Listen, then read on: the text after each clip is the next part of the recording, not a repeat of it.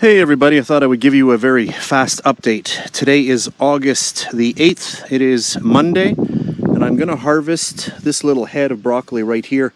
I want to show you something else. I left one go. I should have cut this maybe about four days ago. I just wanted to show you. Here you can see the broccoli has already flowered, and it's flowered quite a bit. Another name for this is called bolting, B-O-L-T-I-N-G. And the reason for this is usually because the soil is a little bit too hot.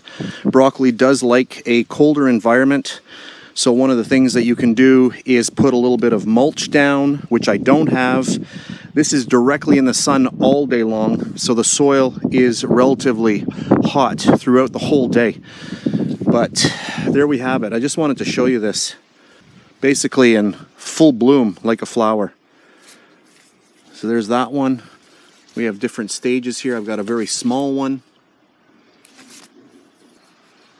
So this is the one I'm going to harvest today. I'll cut that off and then I'm going to show you it uh, after I've cut it. But that there is ready for harvest. You can see it's almost starting to flower, so I want to get this off today. So I guess we'll cut this off now. I just want to remove a couple of the leaves so that you can actually see what's happening here. Just cut those off. There we have it. And I'm going to go down about here. We'll just get in there. And there we have it. Look at that. Doesn't that look awesome? Oh, nothing like fresh broccoli. Amazing.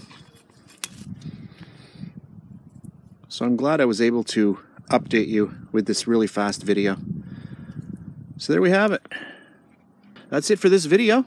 Thank you for watching, and I'll see you on the next one.